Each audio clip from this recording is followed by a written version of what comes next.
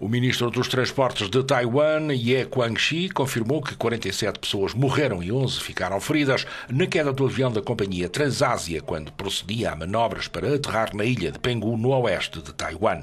O aparelho transportava 54 passageiros e 4 tripulantes. Tinha sido de Kaohsiung, no sudoeste da ilha, já com um atraso de uma hora devido às más condições climatéricas causadas pelo tufão Matmo e estava previsto chegar 35 minutos depois. A minha filha telefonou-me a dizer que o avião se tinha despenhado e que tinha conseguido sair e pedido um telemóvel a uma pessoa.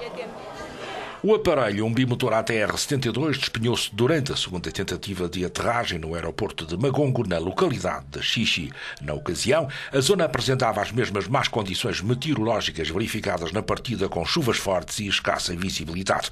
O piloto tinha pedido autorização para voar em círculos antes de tentar aterrar e nessa altura terá perdido o contacto com a torre, segundo explicou Zhang Shen, diretor-geral da Administração Aeronáutica de Taiwan.